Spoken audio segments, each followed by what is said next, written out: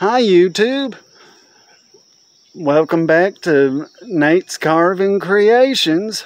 And today I'm going to be finishing up this goblin carving. So I've already done some work on him.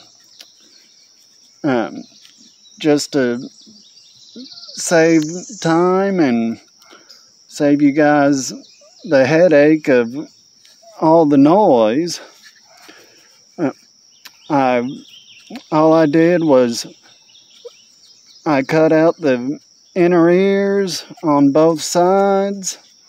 I gave him some pupils in the eyes and I smoothed or tried to level all these areas as much as I could and I did some more shaping to the nose. Now it looks like it's coming out of the face.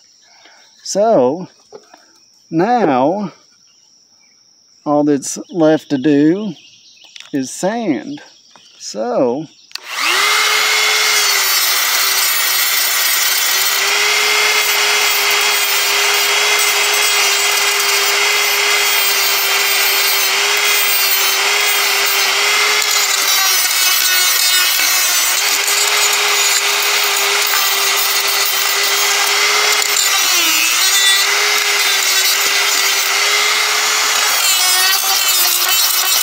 when you're sanding a, when you're sanding a piece, especially if you want to try to sell it, you've got to make sure you get every little place.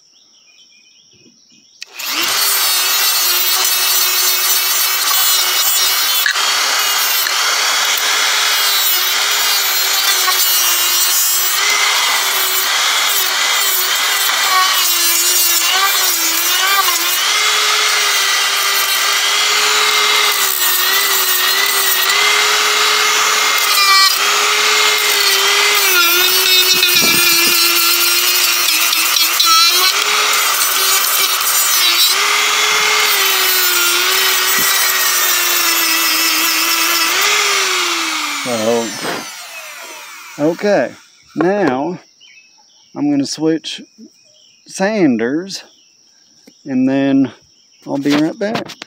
Okay, now I got just a basic smaller sanding drum. So,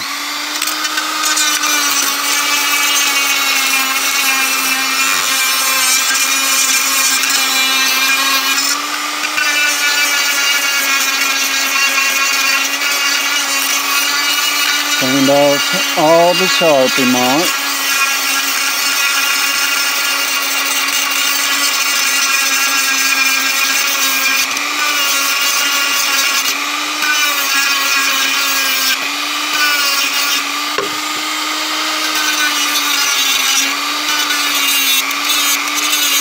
And get everything nice and smooth.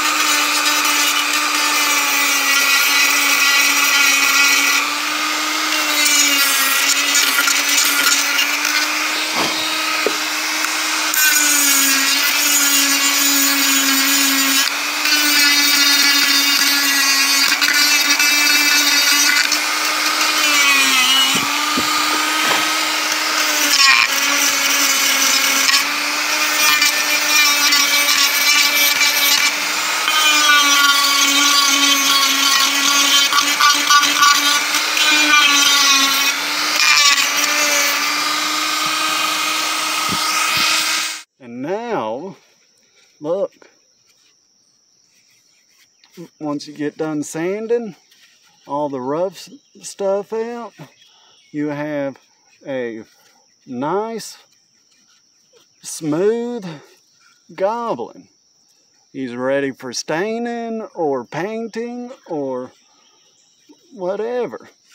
And again, don't forget to sand the back if you're using a split piece of wood like I am. So uh, if you if you try this carve and it works out for you, email me a picture of your work. I'd love to see it. So, until next time, this is Nate's Carving Creations. Peace out. Happy carving.